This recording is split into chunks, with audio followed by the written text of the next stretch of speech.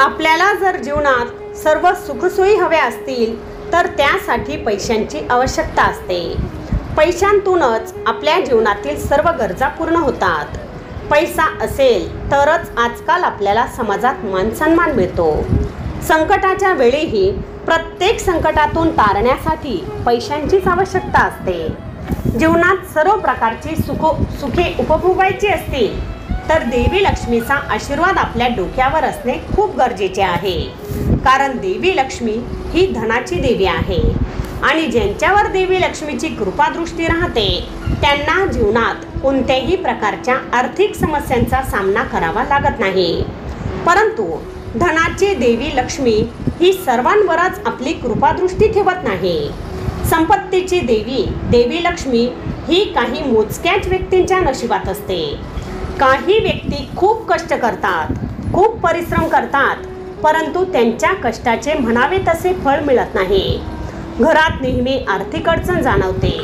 कष्टाच्या मानाने उत्पन्न हातात येत नाही. व्यवसाय व्यवस्थित चालत नाही. घरात नेहमी पैशांची चणचण जाणवते. पैसा घरात येण्या अगोदर ते जाण्याचे मार्ग ठरलेले असतात.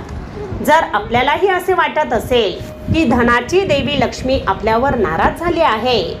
आपल्या व्यवसायावर रुचली आहे. तर देवी आईला प्रसन्न करण्यासाठी आपल्याला काही उपाय करता येतील. हे छोटे छोटे उपाय करून आपण देवी लक्ष्मीचा आशीर्वाद मिळवून देवीचे आपल्या घरात कायमस्वरूपी वास्तव्य निर्माण करू शकतो. चला तर जाणून घेऊयात ते उपाय. जर आपला एखादा व्यवसाय असेल आणि त्या व्यवसायाची म्हणावी तशी भरभराट होत नसेल काही ना काही अडचणी येत असतील.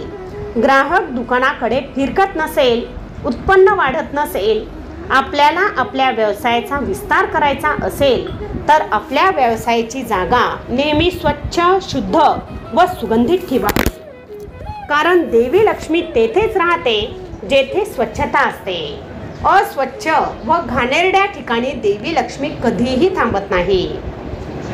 असे म्हणतात की हात फिरे तेथे लक्ष्मी वसे म्हणून आपल्या व्यवसायाच्या ठिकाणी नेहमी स्वच्छतेचा हात फिरवत राहावे. जर आपल्याला देवी लक्ष्मीचा आशीर्वाद मिळवायचा असेल तर कधीही दुकानाच्या किंवा व्यवसायाच्या ठिकाणी दार किंवा खिडकीला पाठ दाखवून बसू नये. दुकानाकडे पाठ करून कधीही बसू नये. आपल्या व्यवसायाच्या ठिकाणी आपल्या केबिनच्या मागे किंवा कॅश काउंटरच्या मागच्या बाजूला कधीही प्रार्थना स्थळ असू नये. देवी लक्ष्मीचे पूजन करताना त्या पूजनामध्ये काळ्या हळदीची एक पुडी ठेवावी आणि पूजन झाल्यानंतर ती पुडी उचलून आपल्या कॅश काउंटरमध्ये ठेवून द्यावी. या उपायामुळे धनसंपत्ती आपल्या गल्ल्याकडे आकर्षित होईल आणि गल्ल्यात पैसा टिकू लागेल. जर घरात नेहमी पैशांची अडचण जाणवत असेल पैशाला पैसा लागत नसेल काही केल्या कष्टाचे उत्पन्न हवे तसे मिळत नसेल तर दररोज सूर्योदय होण्यापूर्वी उठावे. कारण सकाळची सूर्योदयाची वेळ ही देवी लक्ष्मीच्या आगमनाची वेळ असते. आणि यावेळी जर आपण झोपलेलो असलो तर देवी लक्ष्मी अशा घरात प्रवेश करीत नाही. म्हणून देवी लक्ष्मी घरात प्रवेश करण्यापूर्वी संपूर्ण घराची झाडझूड साफसफाई करून घ्यावी व सकाळी सकाळी उंबरठ्यावर पाणी शिंपडावे.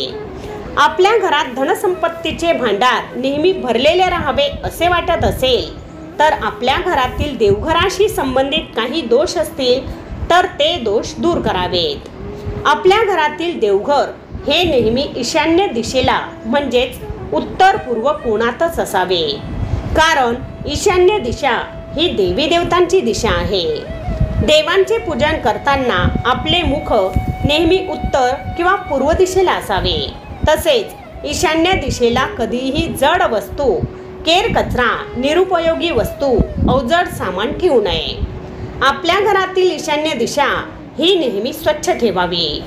देवी लक्ष्मीची कृपा आपल्यावर नेहमी राहावी असे वाटत असेल तर देवीचा आशीर्वाद प्राप्त करण्यासाठी सिद्ध स्त्री यंत्राची आपल्या देवघरात स्थापना करावी आणि दररोज मनोभावे त्याचे पूजन करावे. भगवंतांचे पूजन करताना श्री सुक्ताचे पठण जरूर करावे. श्री सुक्ताचे पठण करणे खूप शुभ असते. देवी लक्ष्मीचे पूजन करताना नेहमी पिवळ्या रंगाच्या लोकरीच्या किंवा रेशमी आसनाचा वापर करावा. कारण श्रीहरी विष्णू भगवंतांना भगवंतांचा सर्वात आवडता रंग हा पिवळा रंग आहे.